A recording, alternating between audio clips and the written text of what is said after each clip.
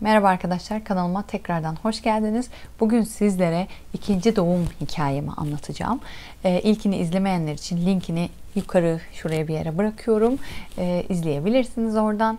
Şimdi ikinci doğum hikayemde şöyle oldu. 31 yaşında hamile kaldım ve 31 yaşında da doğurdum. İki hamileliğimde de çok kilo almıştım. İri hamilelikler yaşıyorum. E, bünyem sağ olsun. İçim herhalde çok geniş değil diye düşünüyorum.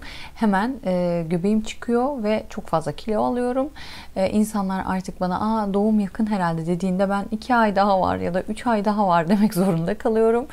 E, ya da işte bana e, şey diyorlardı Duru'da Aa, ikiz herhalde diyorlardı. Yok hayır tek diyordum. O zaman iri bir erkek diyorlardı. Yok hayır kız diyordum. İnsanlar şaşırıyorlardı. Çünkü e, gerçi Duru da 3700 doğdu. 3710. Lila da 4 kilo 158 gram doğdu ve ikisi de normal doğumla dünyaya geldi tamamen pozitif doğum hikayeleriyle karşınızdayım gördüğünüz gibi. E, Lila Duru'nun e, Duru'dan farklı olarak kendiliğinden dünyaya gelmeye karar verdi. Herhangi bir suni sancı veya bir sezeryen bir randevu ile olmadı.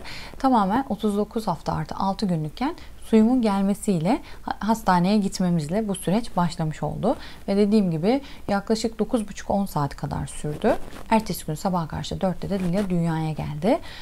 Bu sefer ilk doğumumda yaptığım gibi doğum planı yapmadım. Çünkü plan e, hiçbir işe yaramamıştı ilk doğumumda. Tamamen e, oluruna bırakmıştım aslına bakarsanız. İlk e, hastaneye yatar yatmaz yalnız benim e, biraz ateşim vardı. İlk doğumumda da vardı. E, ikinci doğumumda da sanırım benim bünyemle alakalı. Ve doğan çocuklar da ateşli olarak doğuyorlar.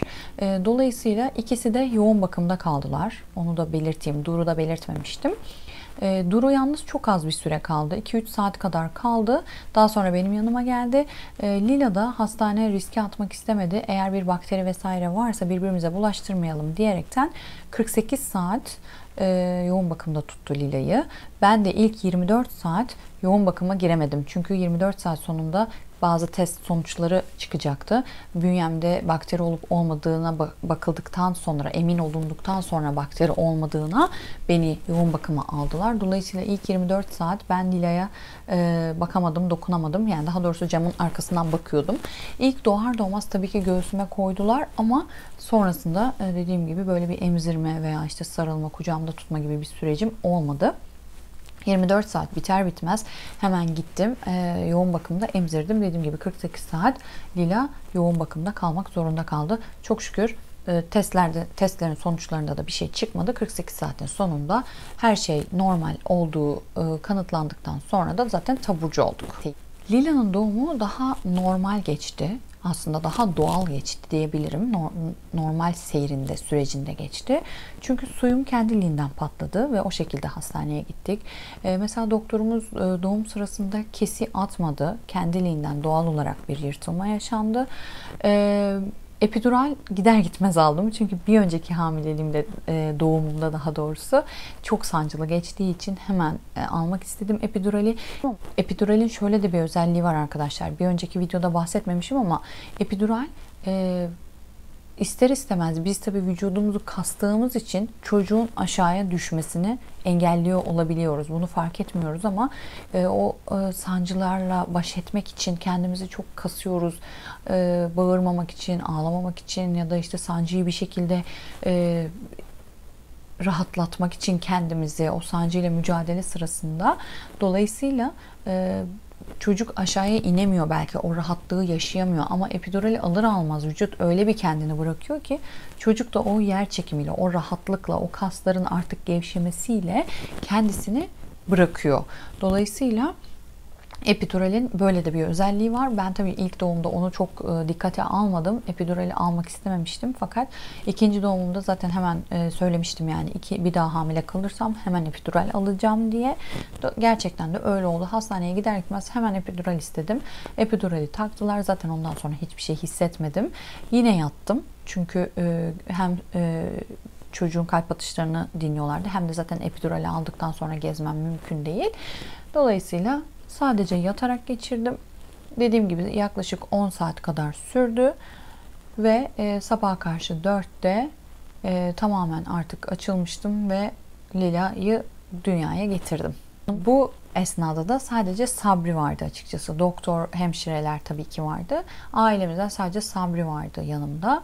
Ee, eşimin doğumda yanımda olması ile ilgili ne düşündüğümü soracak olursanız bence çok güzel bir duygu. Eğer eşiniz bunu istiyorsa kesinlikle yanınızda bulunmalı. Çünkü sonuçta bu onun da bebeği. Onun da onun da dünyaya gelişini izlemeye hakkı var. Tamam siz belki çok perişan olabilirsiniz. Çok belki yorgun olup sizi öyle görmesini istemiyor olabilirsiniz. Ama bu çok doğal bir süreç.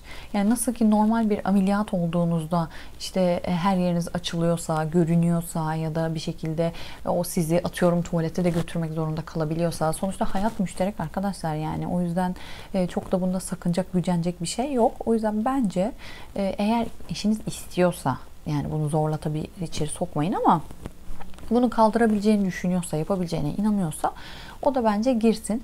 Nitekim ben de mesela e, ıkınmalarım sırasında Sabri bana çok yardımcı oldu hemşirelerle beraber e, benim pozisyon almamda vesaire çok yardımcı oldu ve onunla beraber bir takım gibi olup o e, hedefi başarmak gerçekten e, daha büyük bir mutluluk. Yani sanki ikimizin birden tabii ki yaptığı bir şey yani. O yüzden e, bunu da paylaşıyor olmak, o anı da paylaşıyor olmak çok güzel bir şey. Ben tavsiye ediyorum yani. Bence girsinler ama dediğim gibi tamamen eşlere kalmış. Evet arkadaşlar ikinci doğumum e, biraz daha kolaydı ilk doğumuma göre. Sadece sonrasında yaşadığımız o ateş, yoğun bakım süreci biraz uzun sürdüğü için biraz mutsuzduk.